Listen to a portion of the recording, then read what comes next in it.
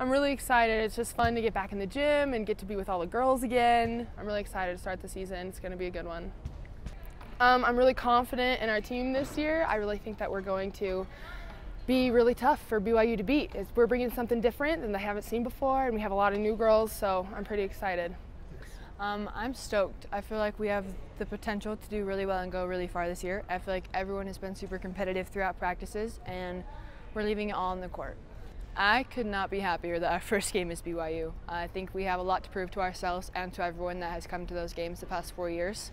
I know it's been a struggle in the past, but I think we're ready. And I've never been this confident in a group of girls that I've been with.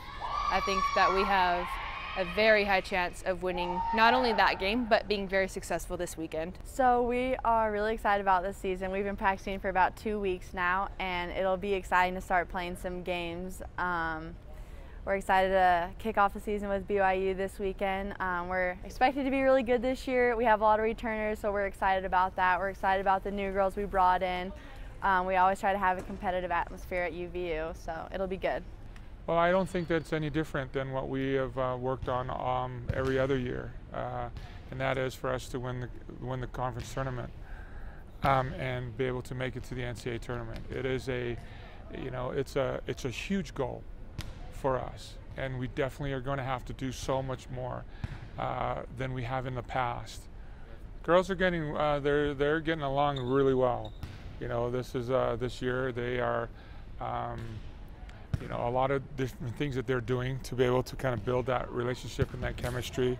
And so I'm really happy with that. Uh, they're including everybody, uh, especially the young ones that have come in and uh, I think their personalities have really fit fit in really well, and so we're really uh, we're pleased with that chemistry on um, where things are at right now, and now we just have to be able to take that and um, execute at a level that we need to um, on the court, and we're not quite there yet, but that's what we're working towards is trying to be able to get uh, uh better connections.